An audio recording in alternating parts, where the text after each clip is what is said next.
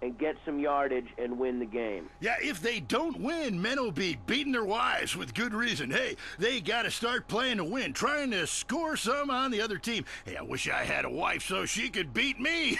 Here's what I say, man. If you want to be number one, you gotta go for first